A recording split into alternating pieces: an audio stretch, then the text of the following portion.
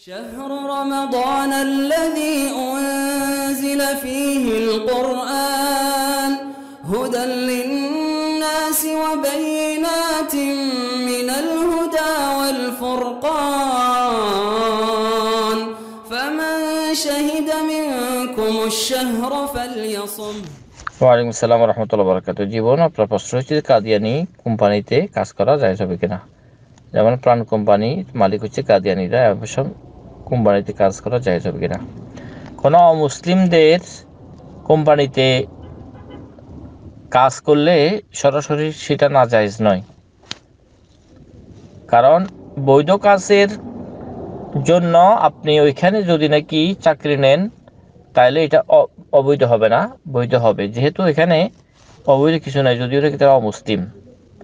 অমুসলিম হলেও কাদেরা অমুসলিম কিন্তু তাদের কাজ কারবার যদি নাকি শরীয়তের কোনো বিরোধী না হয়, অর্থাৎ যেই ব্যবসায়িক প্রতিষ্ঠান, এখানে যদি শরীরের কোনো লঙ্ঘন না হয় তাহলে সেখানে কাজ করতে কোনো বাধা নাই।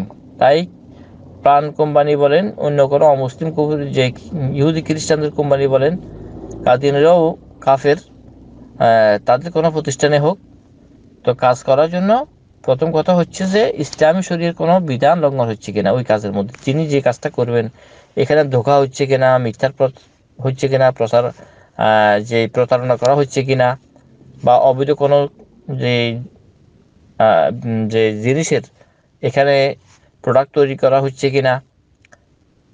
সর্বোপরি কথা হচ্ছে, শরীয়তের দৃষ্টিকোণ থেকে